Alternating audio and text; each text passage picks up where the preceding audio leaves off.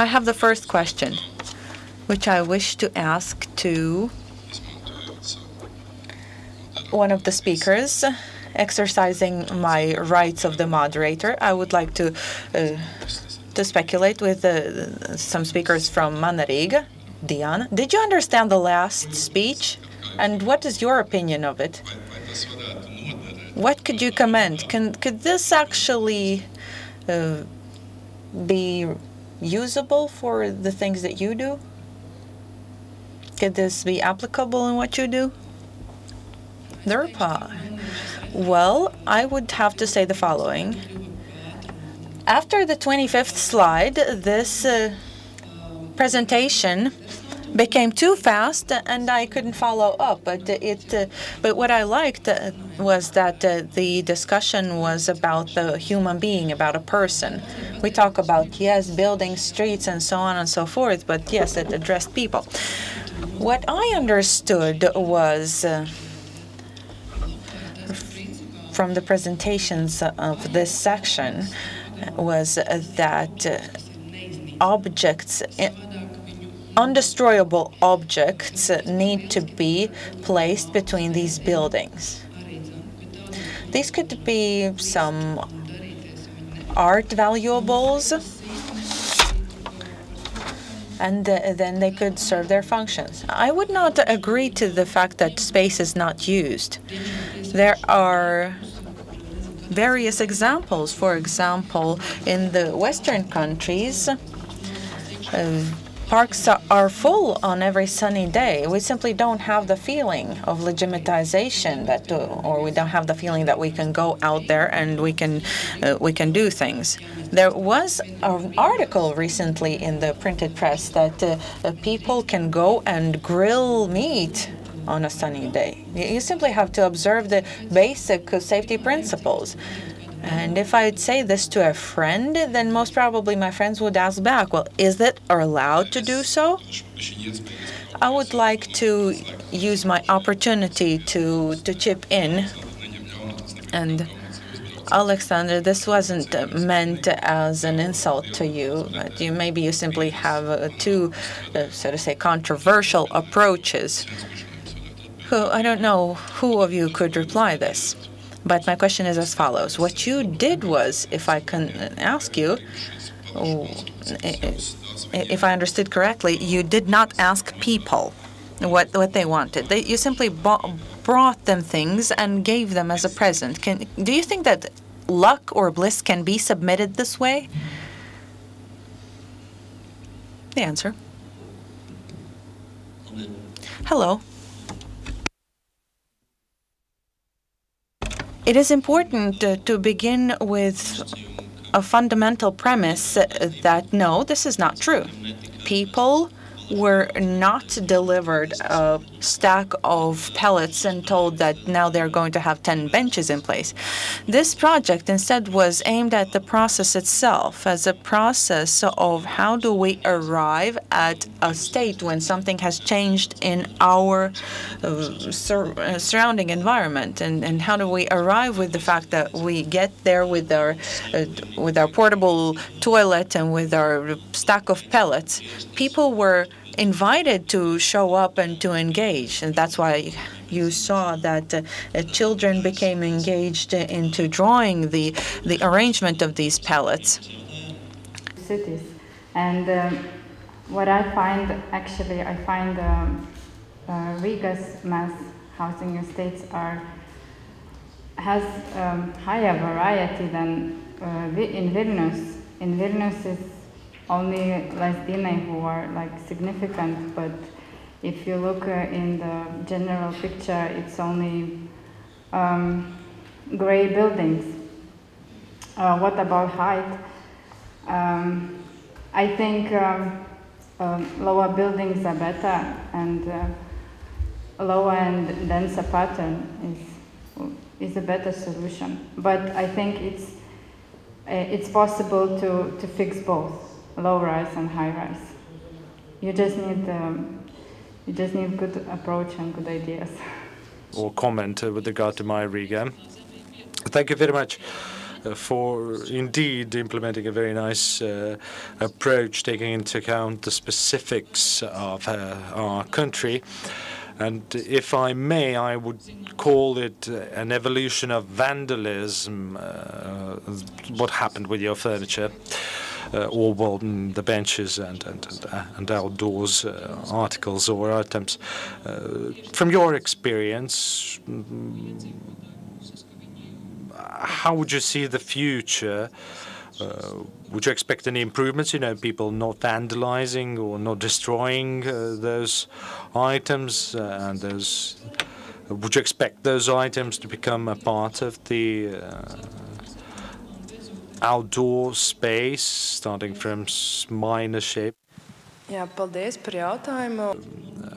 a major sort of ensemble out of uh, 50 pellets. And I think that uh, we should have really invincible, if you will, articles or items, massive wood. Uh, wooden objects or constructions or structures, uh, and they will survive. But you have to start with consensus, really, and that would lead to accountability, and and and, and that would help us avoid any vandalism or destroying these things. Yeah, if I may, I would like to add that this project was, you know, promoting uh, various local initiatives. We didn't want to introduce something that should last there forever. That was by no means our intention. It was just a way to show people that you can do something, you know, if you're active. And there are also some administrative barriers, you know, uh, but we start from the grassroots level, and so we start sort of activate local people first. There's another wonderful example of how this can be done, like in Solitude that we did in one of the yards. Uh, along with what we did, there was one of the fathers who made um, um, created um, a sandbox uh, in the backyard, and he did it on his own, and police didn't sort of uh, prosecute him. Uh, I, I, suppose there was an agreement between the parents who had small children, you know, to have the sandbox there, and this sandbox, you know, was built there because they they they reached a consensus. They agreed. So I think uh, what we have heard in the last session was um, exactly that. What we are like been expected that, that we need such a conference, that we need such a meeting, that we finally come together again after many years and start really to discuss seriously measures and, and uh, whatever we call it, uh, ideas, uh, strategies. I think about that we will later on hear quite enlightening things from Sasha. But um, I'm, I'm like very much puzzled because, um, or probably we three from the Urban Institute, because we heard a very uh, we had a very human approach. Thank you a lot for that. Um, we're doing that also together with you for the last months, years, something is happening. We are discussing about designs, we are discussing about uh, collaborative designs. We're doing all of this, but I'm, I'm, I'm like missing that. Um, what I'm like thinking uh, has been the success measure in all the countries where those changes, those shifts have been taking place. It always has been for sure, there was a very important legal background, which was important. I think we have to develop a legal framework and not a lot. There are missing many, many tools, but most of all, like taking the success stories in, in um, Germany, so East Berlin, like when they started in East Berlin in 92 to like shift around 150,000 flats. They did it with neighborhood but real serious social work patterns. And they were sustaining for until today, so they are still existing for the last 20 years. So when do we start to talk about serious social planning? Meaning action in the area, not only by participation, by questioning and so on, but um, when do we start really to take in consideration that we have to get active with a policy carried out by also the municipalities and that we have to install structures that are really working at place.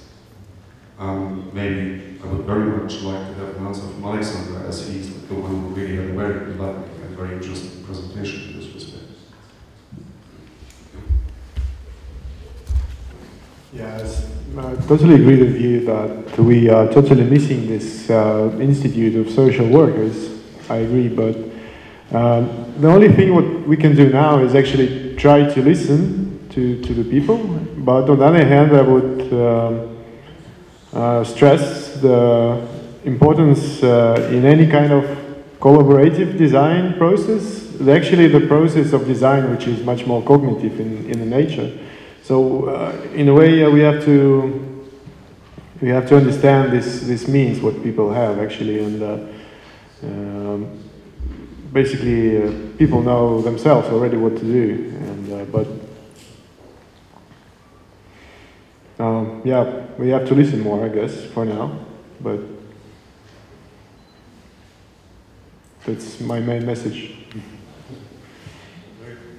Alexander, uh, was very interesting your uh, approach, and uh, I also know uh, Alexander very well, Christopher Alexander. I mean. Have you met him? I didn't meet him. I uh, also worked with his patterns. What I missed in your uh, approach is, is you are only working on spatial level, and already this morning I said we need for sustainable development, we need mix of functions we need more uh, commercial uh, working places and so on. And uh, Alexander also has patterns. What to say. Yeah, I just have a brief comment. Any pattern language is A pattern language, so you can write yourself for you know for the issues you find important.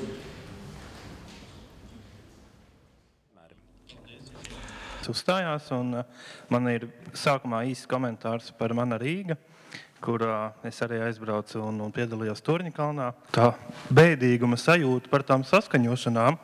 Jo uh, gribat vai ne, arī skolā nu, ir kontroldarbi. Nu, viņi nepatīk, bet viņi ir. Yes, you may like them or not, uh, but you have to take the test. And the same concerns, you know, getting all the permits and all the documents straight, you know, from the with the municipality. And in San Sarkandaugava, we have Alex Square, for example. So the Sarkandaugava Development um, Society decided uh, after a number of meetings that they should develop a design for the Alexander Square. And next year, we might uh, have this Alexander Square in place. It will be built out of concrete, out of you know sort of basic materials, and this is a grassroots initiative that will, uh, you know, come to fruition hopefully next year. Now, what concerns those who are building houses in the backyards uh, of the residential areas, so what is your motivation to build a house inside a yard, amid a yard, and provide 900 apartments when there are so many buildings falling apart in other parts of the, the city? To whom would you like to address this question? To the girls. Well, the girls who suggested, well, the Lithuanian representative suggested, and also the architects from the Arts Academy, they suggested that we should build new buildings in the backyards. I have grown up uh, in backyards up to the age 11 uh, in Imanta uh, 5, and I have my, you know, sort of personal experience. Then, you know, then I can re redirect this question to Mother because I had a similar question in my mind. The same, you know, old question, build or not to build. Well, you see, at the moment, over the past couple of years, nothing is being built, so no housing developments are taking place. A couple of ye uh, years ago, when I was an architectural student myself, a lot of buildings were built, and they were built without really sense or purpose if I may say so.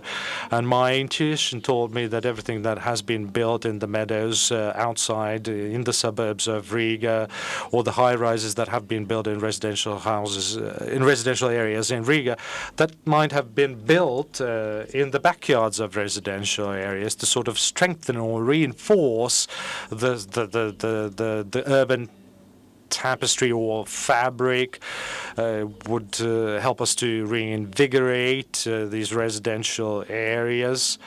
And it would also um, make the developers responsible for the backyard where they are building, not only for their territory or the building site that they're responsible for. So that would be very good for the residential areas. And now that we have sort of breather from the, the, the construction boom when, not, when nothing is built, I think this is a good time for contemplation, and we can really think about the best ways, you know, how to how to organize the process in future. Because um, the building and what concerns a sort of dying city or the city that is falling apart. Well, residential areas are very well connected transport-wise, and they have their fun cultural function and, and, and, commercial function. And uh, the, the, the, the, suburbs or, or, or, the villages that have been built, built outside Riga will eventually die out because of lack of transport connections and, you know, because of lack of the essential function. So I think that the city should sort of develop the things that we already have, the, the, the areas that are already inhabited. So, so and the, the, the, the, the building density could be increased there. Yamanta, I read your Yamanta, I read an excerpt of your presentation. You didn't really underline that in your presentation, but one of the strategies that you're proposing is the urban agriculture. So inside these microrayons or the residential areas, could you elaborate on this idea? So should we promote agricultural activities in Port James or what? Uh, yeah, I think um, uh, I think agriculture would be one of the solutions uh, to bring people together, actually, uh, because um, if we look, we look historically uh, after the Second World War, in I think in all Baltic states, um, people were cultivating, um, um, were growing vegetables in their yards. So it's it's something which is uh, close to our culture, and uh, maybe like for Western Europeans, it's something like it's just coming into fashion in Western Europe, but it's something what is uh, very common, I think, in in, in our culture. Uh, so I think um, that would be a solution uh, who, which um, would actually bring inhabitants together and maybe uh, from that um, it would develop in, into something more and uh, then inhabitants would also like uh, would participate into development of these abandoned public spaces. The processes that are at the moment taking place place, and I, I, I, sort of tried to fast forward the situation and sort of simulate how everything could progress and just try to or attempted to show what could fail if you don't meet the overarching objectives to avoid uh, repeating uh, the, the, the same old things, uh, you know, to to, to, to strike a balance. And we're, we're talking about about physical improvements, and I sort of played around with physical improvements. And the theory that I based myself on is well, this theory could help uh, people to avoid mistakes that we made up to now. So that probably was the main value of my research. But you know, you can take the, the, the, my work as a whole. You can you know take some parts of it and use them. But would that help us to find a common language for cooperation, for collaboration? Well, uh, there's no doubt that it can help us to answer the questions what this particular place needs with the scale of the buildings and so on and so forth.